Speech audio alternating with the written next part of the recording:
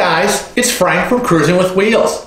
And today we're going to talk about emergency procedures. Oh my god, emergency! I got the money! I got the clothes! Oh my god. Uh, all right, I'll, I'll settle down. Settle down, Spanky. But there's an emergency. No, no, no, no, no. There's no there's there's no emergency right now. But I got the cash! Yeah, yeah, yeah. Thank you. Thanks for getting the cash.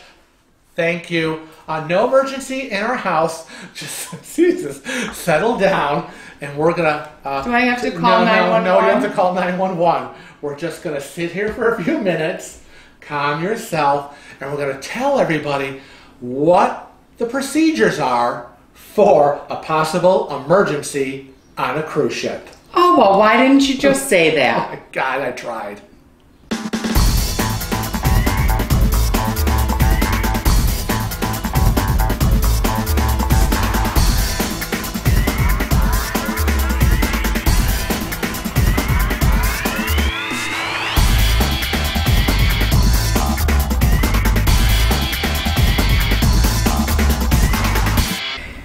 Uh, with all seriousness, we really want you to be prepared in case there's an emergency, and that's why we're preparing this video for you today. That's right.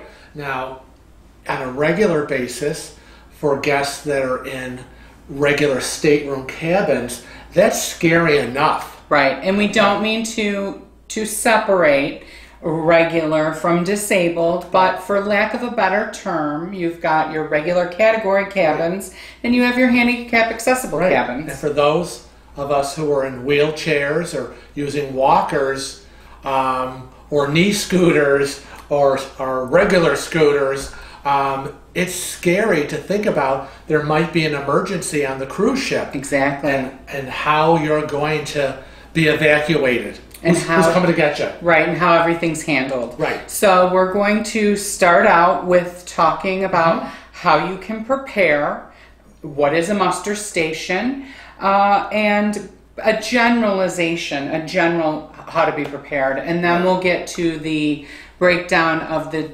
differences for the disabled guests, and if you are traveling with small children, uh, youngsters, teenagers.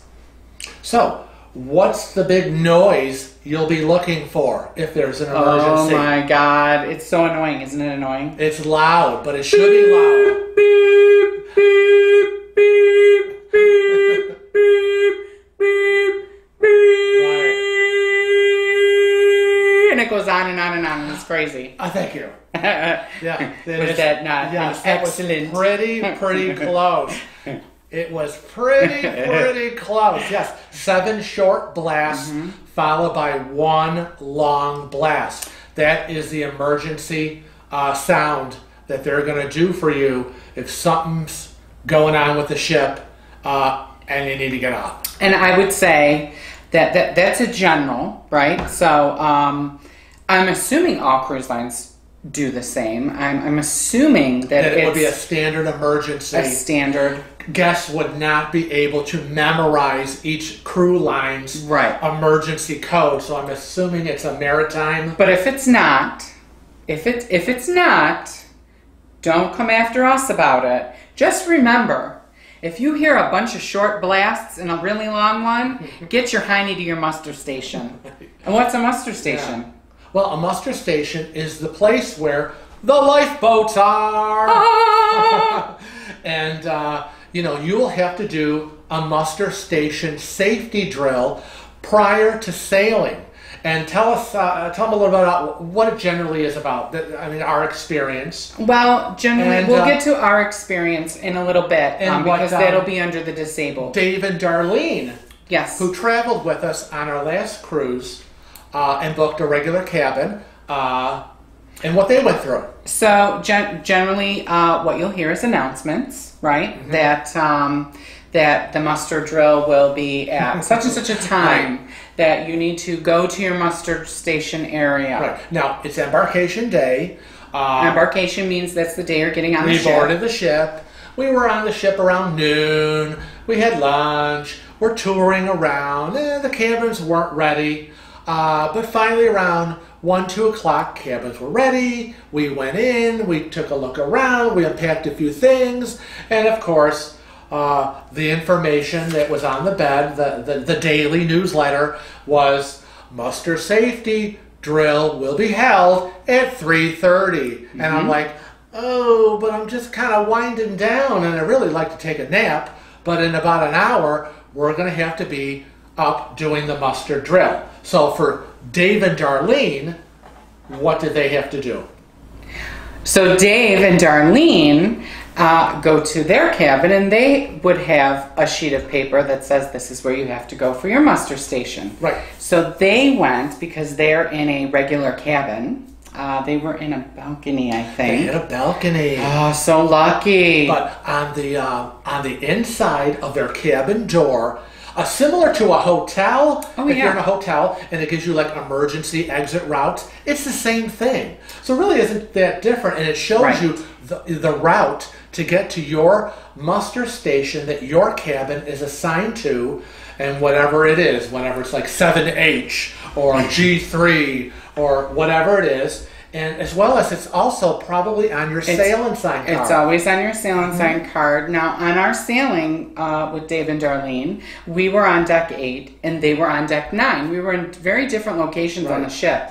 So their muster station was completely different from our muster Right. station. Uh, and their drill was actually held outside. outside where the lifeboats are. I mean, they actually went outside, gathered in front of the lifeboat. Boat, excuse me, I'm having a slight, a slight uh, Emergency. emergency. A slight emergency. I might have to reset. Okay, there we go. Um, and so they were actually at the spot where they would end up being should there have been an actual emergency. Um, Now, us, we didn't do Right. that. Uh, anyone that's in a handicap cabin musters uh, their drill, anyways, is usually in a lounge or someplace Mm-hmm. Right. that's a little more centralized Right. so as to make it more convenient Right, for. because again, you're dealing with wheelchairs and scooters and walkers and Mm-hmm. people that are not able to, you know, get out on on the deck. And we've been in a variety of places on the different cruise lines. I mean, Yes. you, you were either in in the main dining room, uh, we were in the library on one cruise line, uh, or a, a small cafe in another. So. It's held in different spots, but you will be notified where you will be directed to go to. Now, we can't impress on you enough. You better show up for that Yes. muster drill. What's going to happen if that you don't show up, Frank? Do you know what Okay, happens? they're going to come find you because at the muster drill, uh, they have their clipboards and it says, like when we went to the main dining room, we were on the Jade, we were assigned section 8 and we sat in section 8. There is a crew member assigned to each section. They have our names and our cabin number, and we had to sign our name. We even had to scan our cards. Yes. So And so you have to prove that you were there. And let me tell you, if they don't merit- have you, Right, it's maritime law. Mm-hmm. They cannot leave the dock until everybody has completed the muster drill. Right. So if you don't want 4,000 other people Right. to be very angry at Right. you, and I have seen YouTubes, you just Yeah. have to you uh, type it in the search bar of people that haven't shown up. They've actually announced their names Yes. and their cabin numbers, which uh, I'm sorry, John Heald from Carnival. I think that was very unprofessional of you to do that.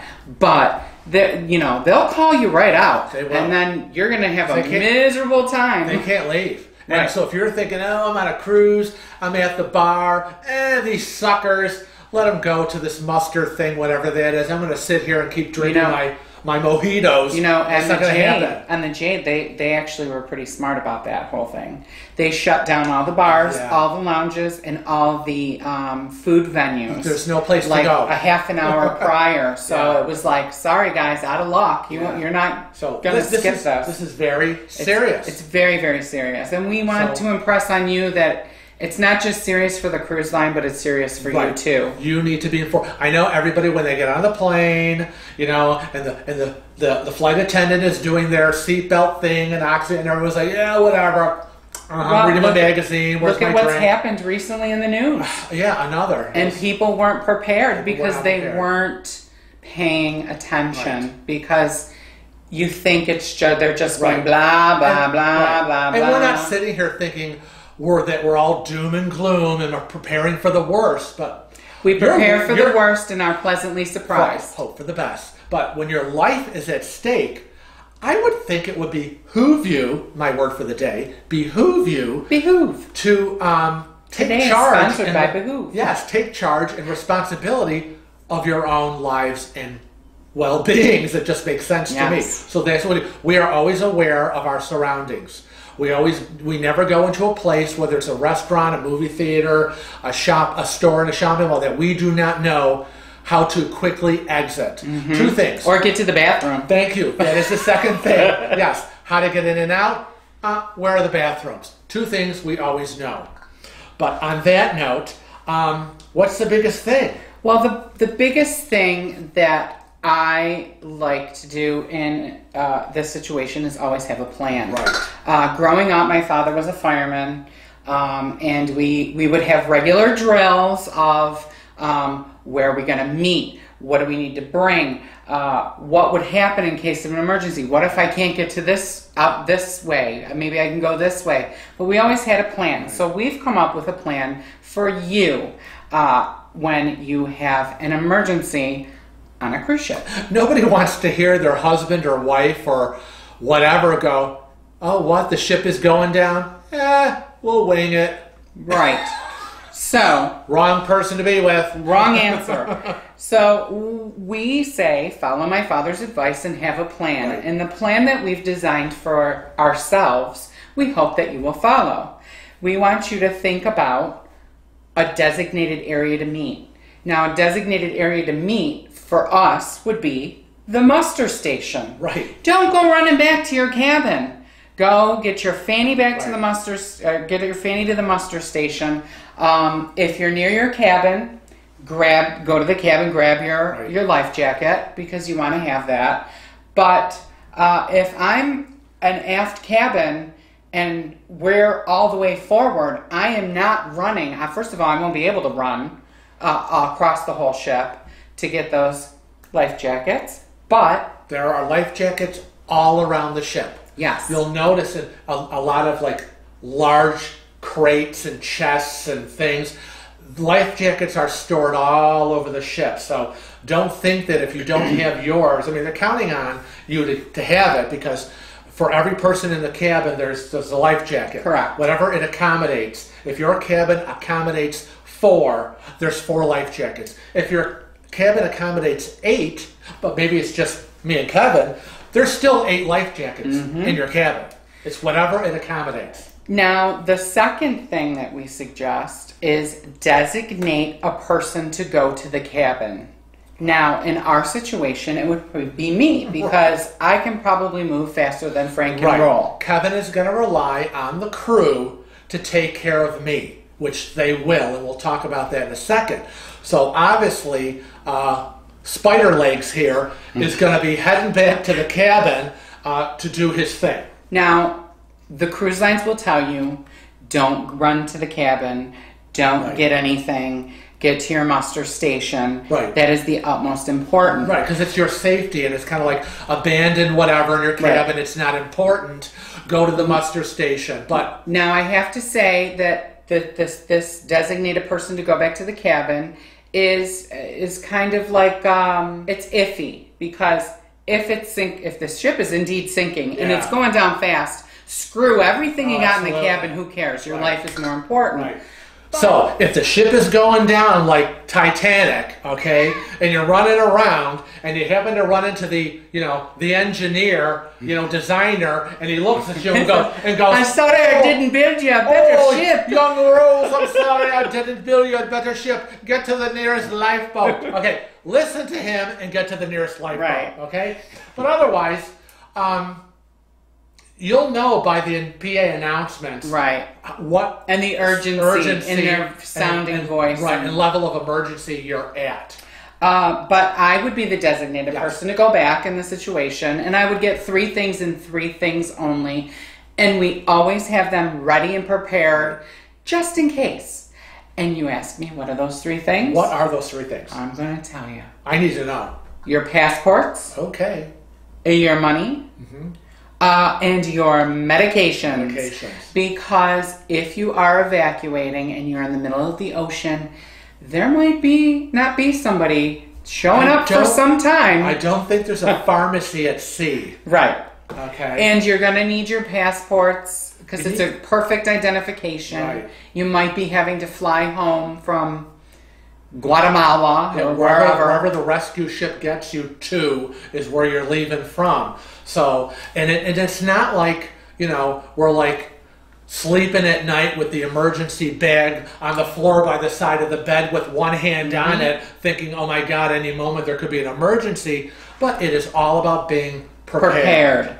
And these three things we keep in a Ziploc bag in our safe. In the safe. So they're they're ready to go. Right, Kevin runs in, he goes to the safe, doot, doot, doot, doot, safe opens, he grabs, goodbye to all our clothes, all our gifts, all our, who cares? That is the last Adios. thing about having a plan.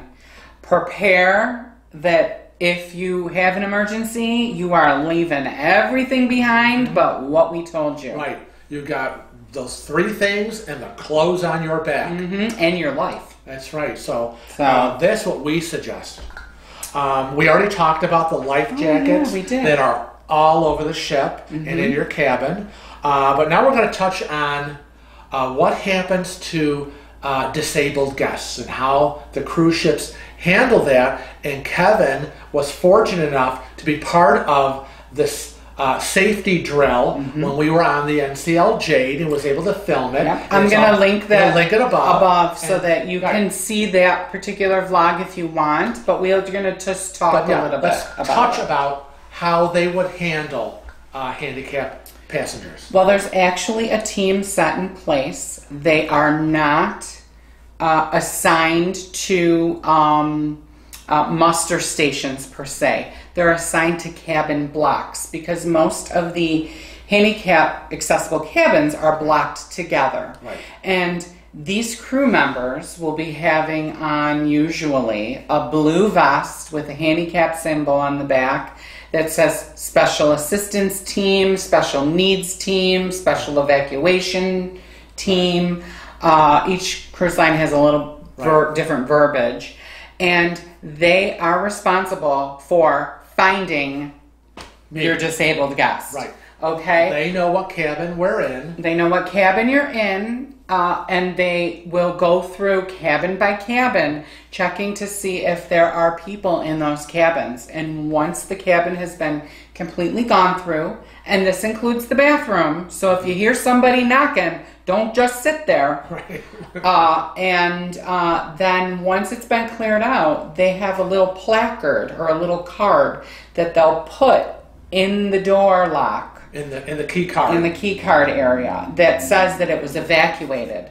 So if you do end up going back to your cabin after uh, somebody has already checked it, you need to call them and tell them, I'm in my cabin, I can't get down the stairs, I can't use the elevator. Um, because these people will help you Right. get to where you need to go. In addition to that, it's my understanding that um, if you haven't shown up at that lifeboat station and you're disabled and in a handicap room, uh, there's a system in place that they check the computer and see where your card was swiped last. So your Sail Sign card is kind of like a little locator of you. So if Frank was up getting schnookered at some bar and I was in the restaurant getting another piece of peanut butter cheesecake with caramel sauce. They will know. they'll right. know that the, he's there and that they need to go in that general area Right. to try to find him.